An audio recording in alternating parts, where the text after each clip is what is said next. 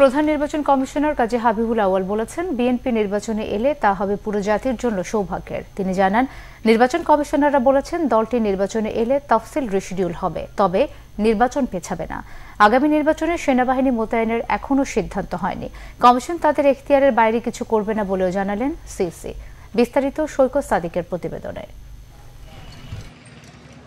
রবিবার বিকালে রাজধানীর আগারগাঁও নির্বাচন ভবনে মিডিয়া সেন্টারের সাংবাদিকদের সঙ্গে কথা বলেন প্রধান নির্বাচন কমিশনার কাজী হাবিবুল আওয়াল বিএনপির নির্বাচনে আসা, তফসিল পেছানো, প্রার্থীদের আচরণবিধি লঙ্ঘন ও সম্ভাব্য প্রার্থীদের সঙ্গে প্রধানমন্ত্রীর বৈঠক সহ নানা বিষয়ে সাংবাদিকদের প্রশ্নের জবাব দেন সিসি।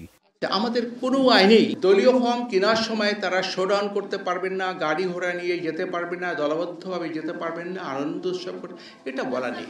অংশগ্রহণমূলক নির্বাচনের প্রত্যাশা জানিয়ে সিইসি বলেন, বিএনপি নির্বাচনে এলে ইসির জন্য কাজ সহজ হয় এবং সেটা হবে জাতির জন্য মঙ্গলজনক, তবে নির্বাচন পেছানো হবে না বলেও জানান তিনি।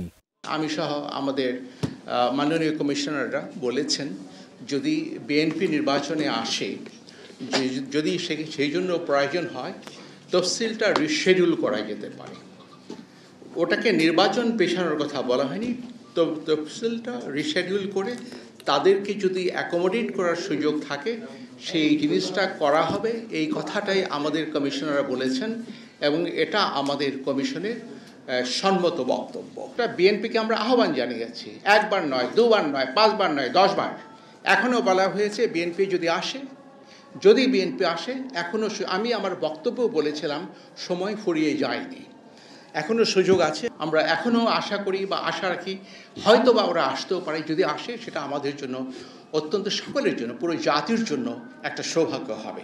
সেনাবাহিনী মোতায়েনের বিষয়ে সিসি বলেন, তাদের ব্যাপারে একেবারে শেষ পর্যায়ে আলোচনা করে সিদ্ধান্ত নেওয়া হবে। প্রশাসনের রদবদলের ক্ষেত্রেও কমিশন এখতিয়ারের বাইরে যাবে না। সেনাবাহিনী নিয়ে আমাদের উদ্বিগ্ন হওয়ার কোনো কোনো কথা নেই। আমরা নিজেদের মধ্যে আলোচনা করেছি। প্রয়োজন হলে আমরা যখন শেষ পর্যায়ে নমিশনটা শেষ হবে তখন আমরা সেনাবাহিনী নিয়োগের বিষয়টা কমিশনে আমরা আলোচনা করে সিদ্ধান্ত নেব।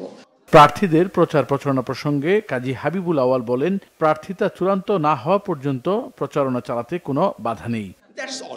সৈকত সাদিক বাংলা ভিশন ঢাকা।